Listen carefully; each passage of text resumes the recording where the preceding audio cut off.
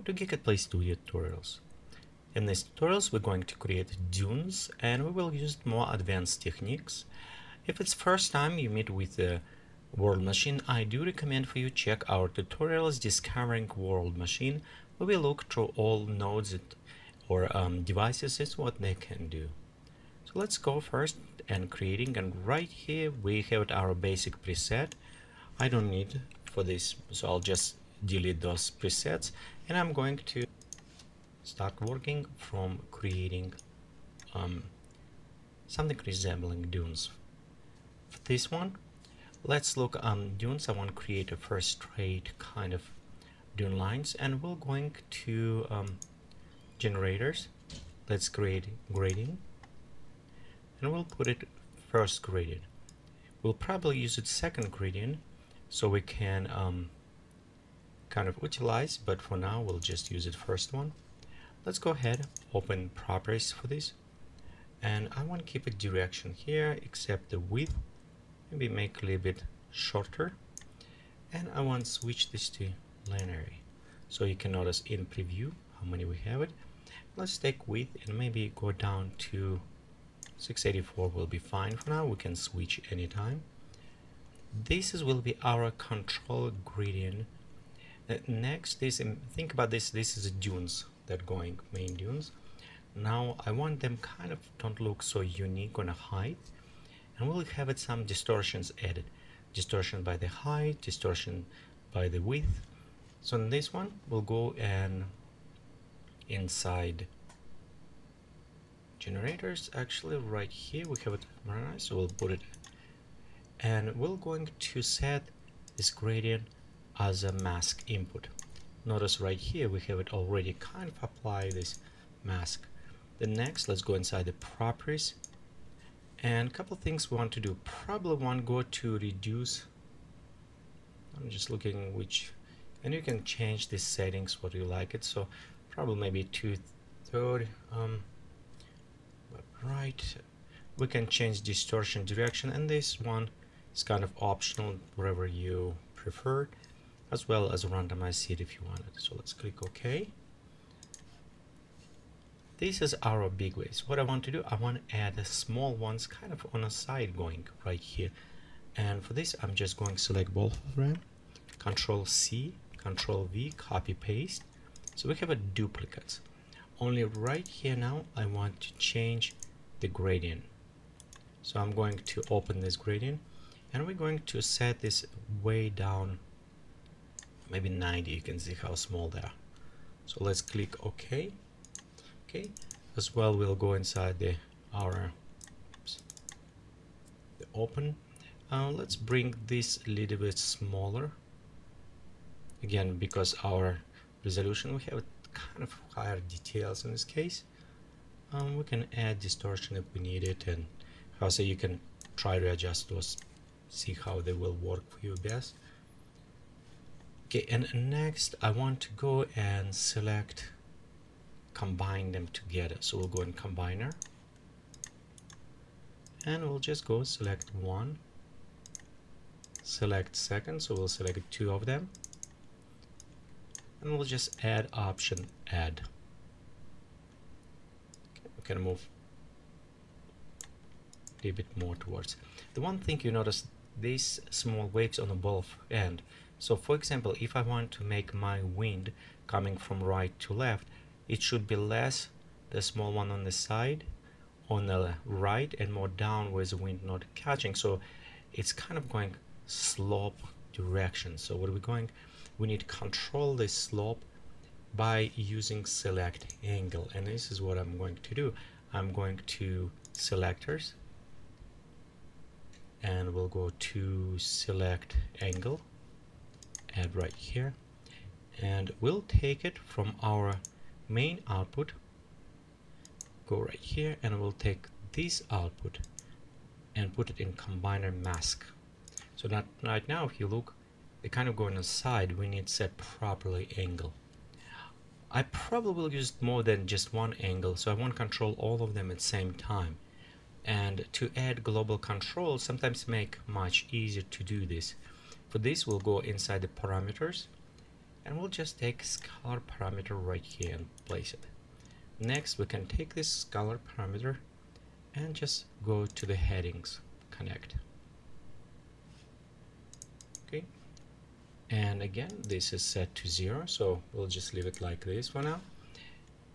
And you can see right here we set highlight by on the left side. Again if you can go inside you can modify and you can see we're changing the angles. So I'll just set zero. In case if I want in the future modify I can easily perform this from this single point. So right here I have it my combiner. Next what I want to do I want to add a terrace. So this one is giving me kind of effect on the side again. Let's preview. And you can see we kind of have them right on side going and this little bit less on the side. Okay let's go ahead next add a terrace to this. So I'm going to filters. We'll click on terrace and we'll go to add right here to this point. Okay and let's go connect them. Okay on the terrace I want to do a couple things. One I want to increase maybe to 42 so we have a lot of steps. It will take shape and we'll go to have a little bit more sharper step and maybe layering pop up just slightly. Maybe to two okay let's just type in. Okay next I same things. I want the control but see right here on both sides going. So I want to do this just on one side. For this I need to do another angle um, control. So we can go copy paste this one okay? Same remember we can just connect it okay?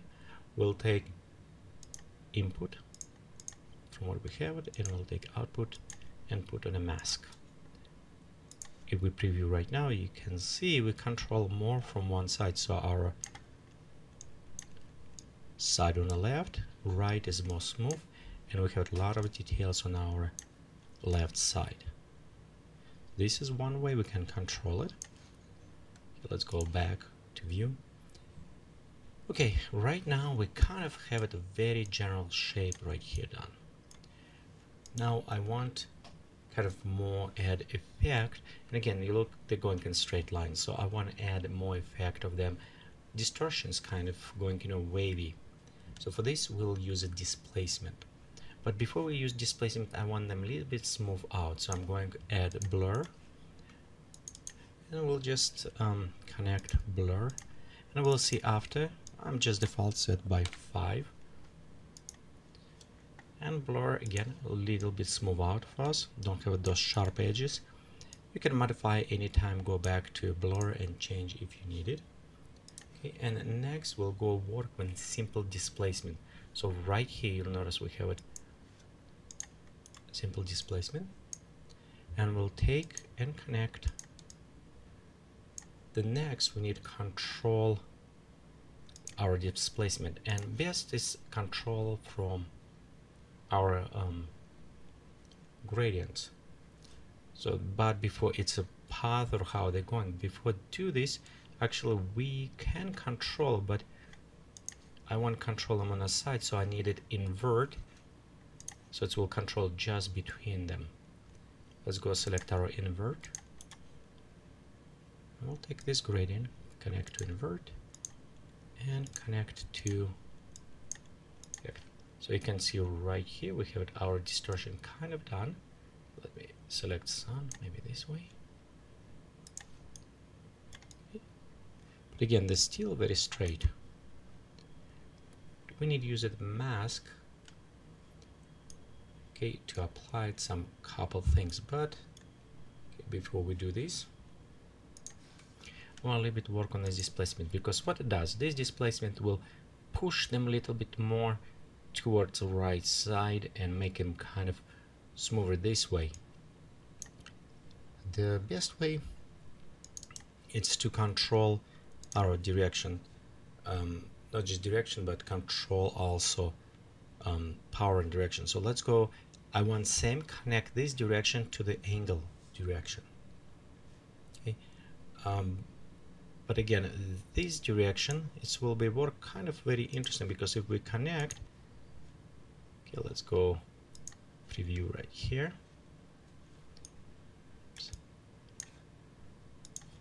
And we'll go inside and add a string. You'll notice it's going some wrong direction. So it doesn't do right direction that I wanted but I want control same so I need to add some modifier. And probably best to do it's using the arithmetic so we'll arithmetic. We'll push it between these two.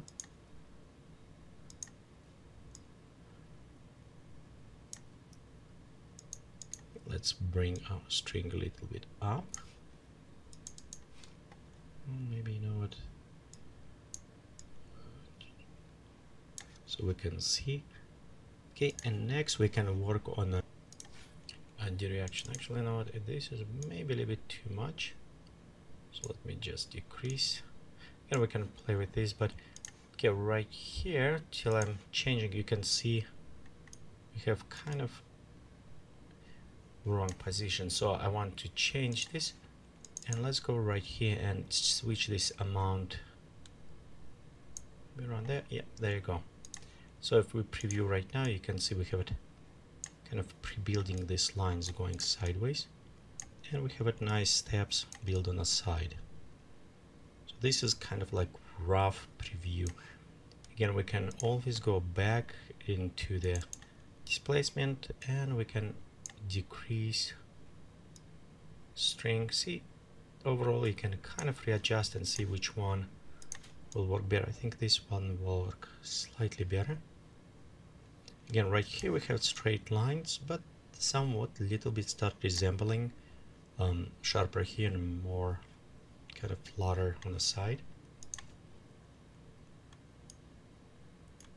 Okay, so next, um, actually this is one displacement. Next, I want set displacement and move them in a horizontal so they won't be straight lines. Let's go to filter. We'll use another simple displacement. And we'll go to take our primarily connecting height field and directions I'm going to connect to our normal so we have the same directions and right here in this one I want to control my uh, distortion amount. By controlling this, I want to use actually something more random. And to do this, we can use it advanced fractal. So we'll use it this one. Let's go open. Right here, um, before we do this, actually, let me go ahead and connect. So when we connect, you can see we already have slightly effect, but I want effect a little bit more to this. So we'll go lock this device so we can preview when we're modifying. And I'm going to switch this one to below so it will add more. Let's go to set maybe a little bit smaller. Let's see if it's a will effect okay. Before I forgot to add just a little bit of the power here so we can preview. So let's do maybe yeah. So just some effect you can preview on this way. Okay. Um, so in this case you can see we can increase or decrease amount and you can overall distortion kind of multiply work this way see which one is work better in this case. As well the steepness you can increase. This is options. You can see it's kind of moving. So I'll normally just set it's on the edge. Also notice we have exclamation mark. It's mean it's not total tiling. So when you careful when you add you can see on the sides is wheel adjusting this way okay as well we can take stepness and just maybe slightly increase. And I think this way work and presence right here will make a little bit softer. So for example if we go and can preview on this you can see the our um, presence make it a little bit softer. So we can bring to 19 okay I think at this moment we kind of um, created already somewhat looking like waves and let's go in our next uh, portion and continue working on this